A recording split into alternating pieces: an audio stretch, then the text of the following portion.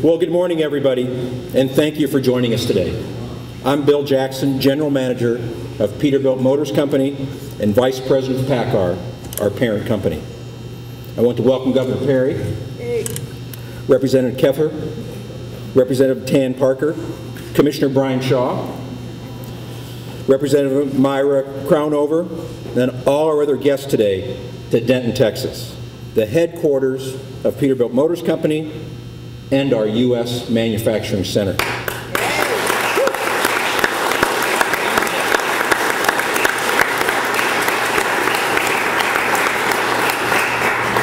Now, just a couple things about this plant. This plant is one of the most environmental friendly automotive plants, not just truck, but automotive plants in the world. It's zero waste to the landfill. It's ISO 14001 certified has implemented numerous energy conservation programs to reduce or eliminate our impact on the environment. In addition, the vehicles produced in this facility are 80% recyclable. With Peterbilt being the commercial truck technology leader in fuel efficiency and the leading producer of natural gas powered vehicles, we are very excited to have everyone here today to promote alternative fuel technologies and to foster a strong sense of environmental stewardship here in the state of Texas.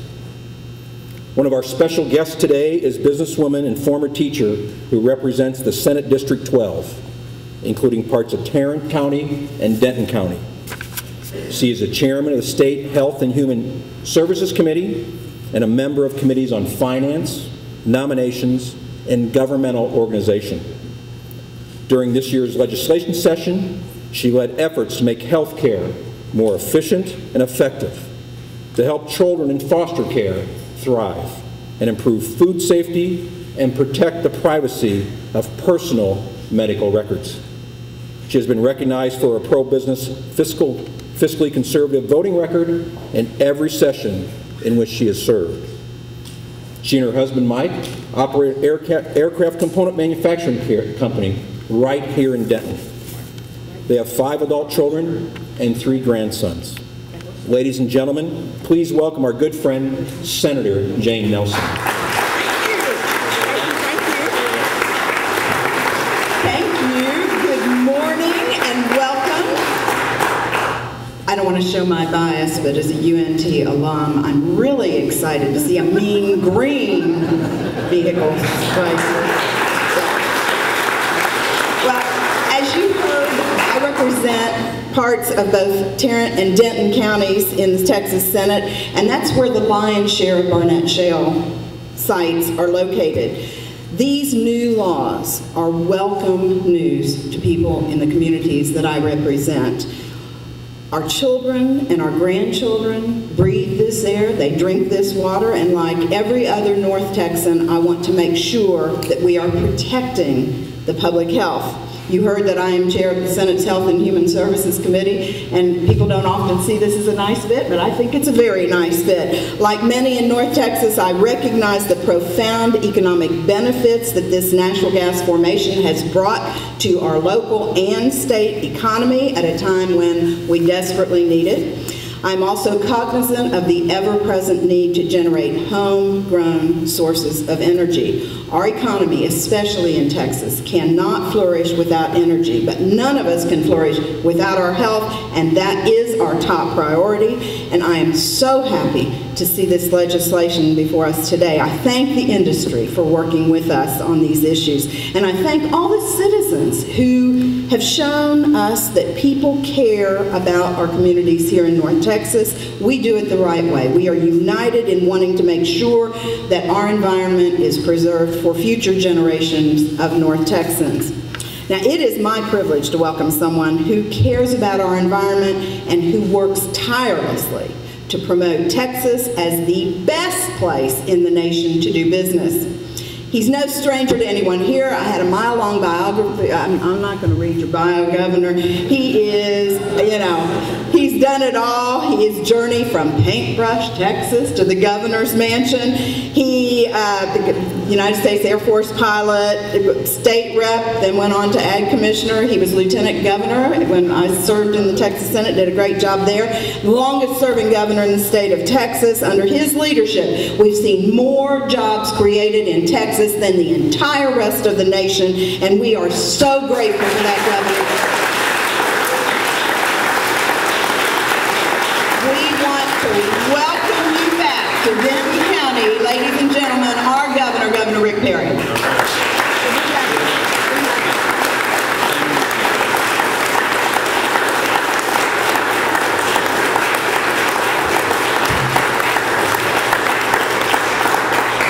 Senator, thank you. I, um,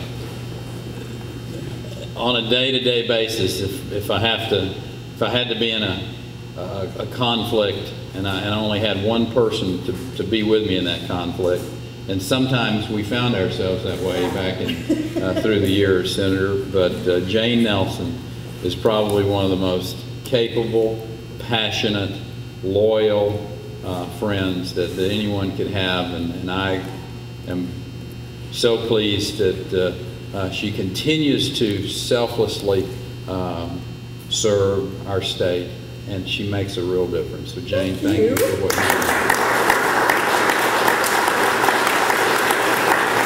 And um, listen, uh, Bill, I just want to say thanks for taking me through a tour of the of the facility. That was just fascinating. I, and and the it didn't make any difference where you went to school. They had maroon trucks back there.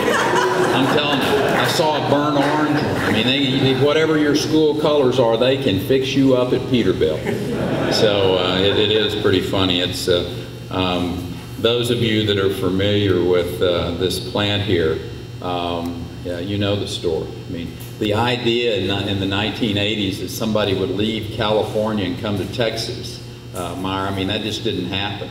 Uh, but but they were they were visionary. they were the vanguard. Uh, they understood something uh, that was coming and that maybe no one saw. But to bring this plant to Texas uh, in 1980 uh, and in 1993, I think was was the the next big move. But those of you that are unfamiliar with all of that, let me just sum it up. the, the important part of what occurs in, in this facility is that they employ Texans producing one of the great products in the world uh, and uh, powered, I might add, by Texas natural gas. Uh, and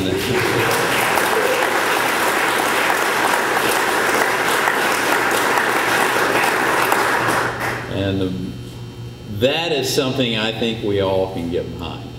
Uh, this factory stands as yet just another example of what's possible when innovative minds are given the freedom to explore, to try new approaches, to meet challenges in, in unique and, and exciting ways. And I tell people, I said, that's the Texas model. That's, uh, uh, that's what we've been doing here for uh, a decade. And um, Tan, it, the, the verdict's in. It works. Uh, it's working from the standpoint of creating jobs, Texas is home to the most new jobs in the nation since 2001. 45% of the new jobs created in the United States since June of 2009. Uh, it's also working from the standpoint of uh, cleaning up the air. When our ozone levels are down by 27% from 2000 to 2009, the most improvement in the nation, I might add. Our NOx emissions down by nearly 58%. That's caring about your people. That's taking care of our citizens in this state by implementing a program that is working. And I know you all have heard me say a lot in, in the last few days about the EPA's continuing effort to take over our regulatory uh, process. And, you know, for reasons of their own, Washington insists on, on this new layer of, of, bureaucracy, layers that are going to cost jobs. And, and, frankly, it's not going to improve the air. Um, I, I, just happen to think that uh, that's certainly not reason enough whatever reasoning they're using to, to destroy our very successful flexible permitting process. I know Brian's going to talk about that in a minute. Um, but it, it's just a continuing Washington um, story of them wanting to take over more and more control of the states. But we're not here to talk about them today, so, uh, you know, that's uh, the, the, a dreary story, frankly. We're here to talk about upbeat, bright, and green. Uh, and we're here to talk about smart, efficient government. And, and, and, with that, let me just segue into this just finished 82nd session of the legislature. They passed several bills that are going to help Texas continue to lead the nation in energy production, expand our use of alternative sources of power in an area that we already are a national leader, I might add. Senate Bill 20 that is um, sponsored by, authored by, taken through the legislature by the very capable Representative Jim Keffer, who's with us today. It's going to, yeah.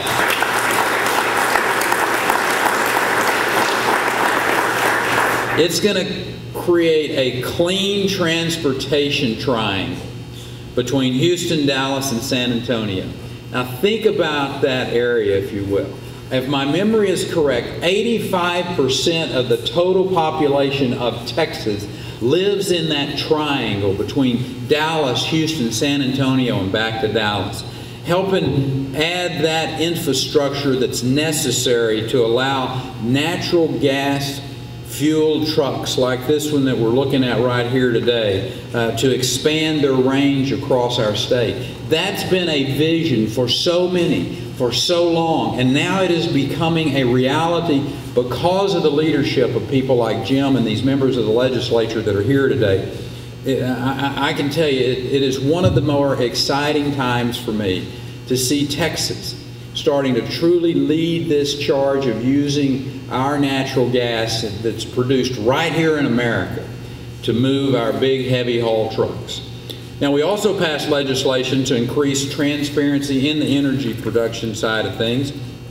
Again, uh, Senator Nelson carried that. Tan Parker was the uh, House sponsor, and it provides for additional air monitoring stations around the, the Barnett Shale region right here in, in, Fort Worth and Tarrant and Parker County in that part of our state. And then there's HB 2, or excuse me, 3 3328, 3328. And now that one again, Representative Keffer and Representative Parker, they did the heavy lifting on that. And uh, I, I will tell you, this is a piece of legislation that has national implications. You talk about two visionary guys taking an issue that is very important that could have been used for uh, negative purposes against the uh, state of Texas if we weren't being very transparent, very forward, and it is uh, requires additional disclosure of the materials used in hydraulic fracking. Uh, this new fracking material disclosure law, and it is one of the first, and I might say the strongest in the nation, will help ensure safety and environmental quality while encouraging American energy production and reducing dependence on foreign oil. So taken together, SB 527 and HB 3328 are going to really reinforce what we already know, and that is that hydraulic fracking is safe and is an effective way to unlock decades worth of energy trapped far beneath our state surface. Now, the success of hydraulic fracking uh, led to uh, the opening of, of, major fields like the Barnett Shale, uh, these newer fields that we're finding, the, uh, the Haynesville over in northeast Texas, this just monstrously big field in South Texas uh, called the Eagle Ford, uh, creating thousands of jobs. When you just think about there's some young South Texan who may have been working a menial job a year and a half ago and that individual today is working on a drilling rig making 30 bucks an hour. He's talking to his new wife about buying a new truck, about buying a home. They're sitting in the quietness of the evening talking about being able to have children pay their way to college. You think about how lives are going to be changed in such a powerful way. As Texas leads the way in the production of a home produced energy source. I'm so excited about that. Um, and, and this was not a success that was created through a mandate um, or some draconian penalties that, you know, some states um, or, or, the federal government in particular would, would, would, you know, with their big hammer of regulation come down. Um, this was a success created by the brightest minds of the energy industry, sitting down together, tackling this challenge head on, and creating the drilling techniques that would be held by energy experts as the biggest innovation in the first decade of the century. The state's biggest contribution was keeping our economic climate favorable. Um, we, we hear this story every day about companies relocating to the state of Texas because these members of the legislature understood that if you'll keep the taxes low and the regulatory climate fair and predictable, a legal system that doesn't allow for oversuing, then get out of the way. People will come to that climate. They long for the freedom to live in that type of a climate. I always thought that was the way it was supposed to work. Truth of the matter is, America needs all the innovation that we can muster to reduce our dependency on foreign sources of energy. And again, our combination of job creation, improved air quality here in Texas, that it can be done and that is the right way. We refer to it as the Texas way. Yeah.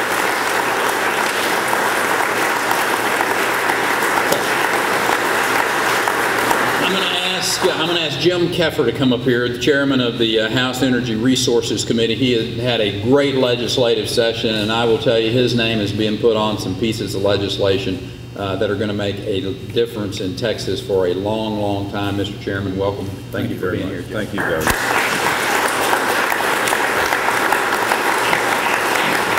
Thank y'all very much. I think that would look good in red and black also, I got I got to say. You know, uh, Governor, uh, you're talking about the Texas way. Um, you know, I've been outside like you have. I haven't seen any pigs flying, and as far as I know, hell did not freeze over.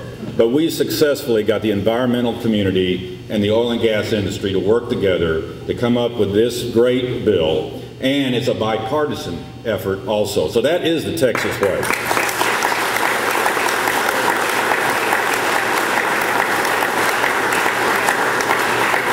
Matter of fact, I want, well, before I forget, I want to thank my joint officers that are here. Myra Crownover, who's uh, vice chair of our committee, Tan Parker, uh, Lon Burnam, and Mark Strama, who couldn't be with us today, but all had great hand and input in this to make sure that we kept on the straight and narrow, kept our focus, and kept this bill uh, between the uh, lines, as, uh, as we say. But 3328 will provide the much needed transparency to an industry practice that is not commonly understood, but is playing a vital role now in our economy. With the passage of this bill, Texas is the first state to require public disclosure of all chemical ingredients used for hydraulic fracturing on a well-by-well -well basis while protecting the, the trade secrets of companies who have invested millions and millions of dollars to develop this important technology. This bill strikes a balance between creating sustainable market for business and ensuring the health and the safety. Matter of fact, that ought to be the other way around. Ensuring the health and safety of the public first, and then a sustainable market for the state of Texas and this business community. Governor Perry, as always, I thank you for your support. I thank you for recognizing, for getting it, that uh, Texas is uh, ahead in this nation because of your great leadership. And uh, now the rules with uh, Commissioner Porter, Commissioner Jones, uh, we're looking forward to, uh, to those coming out to get this done and uh, get it done right. But I'll tell you, this is a template, I think, for the for the nation to look at, and I hope to help uh, other states to have uh, shale formations and to, to help them with this needed uh, uh, industry and this needed product to get our ourselves off of uh, uh, oil from people that don't like us anyway. And this will be a great boon for our country. And again, uh, it was a great uh, 82nd legislature, and I thank you, my joint authors, for this. And uh, God bless you. God bless Texas.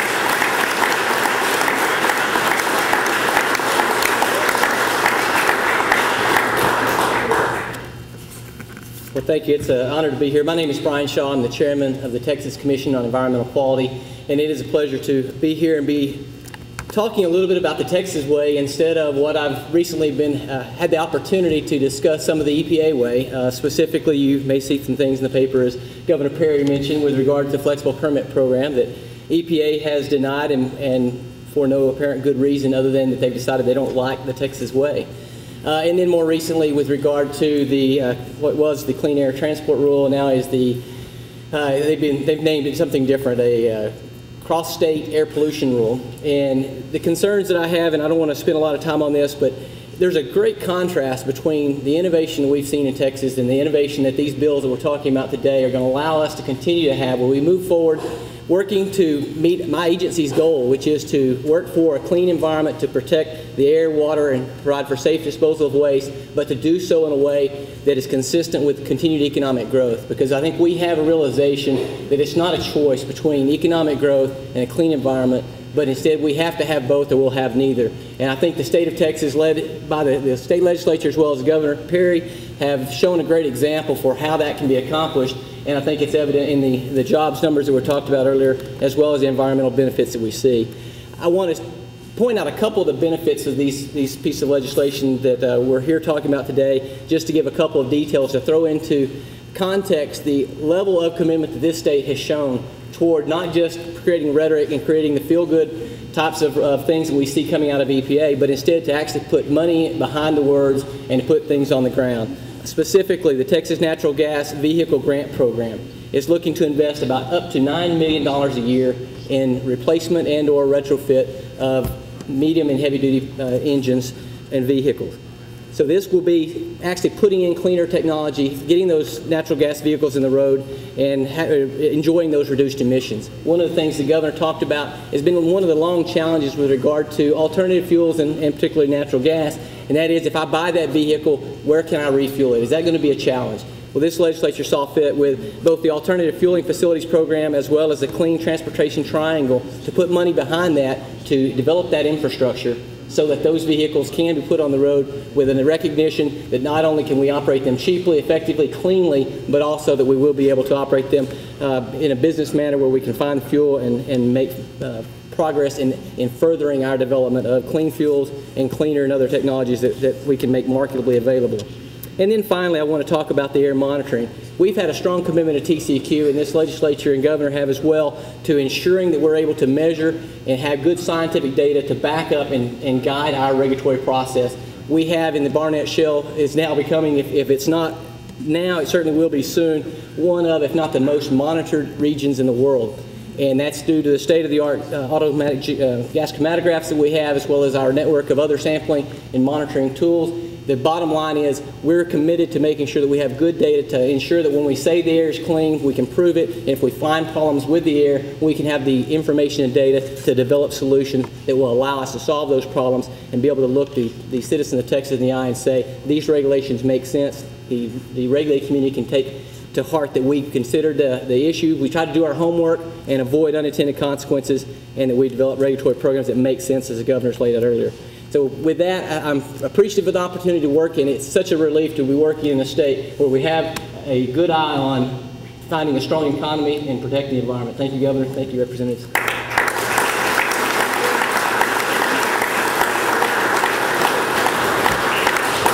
Brian, thank you very much. We, we're really blessed in Texas to have a chairman at the TCEQ that not only is an intellectual giant, but is always very, is also very wise. And uh, so, Brian, thank you for, for your leadership. And, and um, with that, I want to ask Myra, David, and Tan to come up with us and let's sign these bills.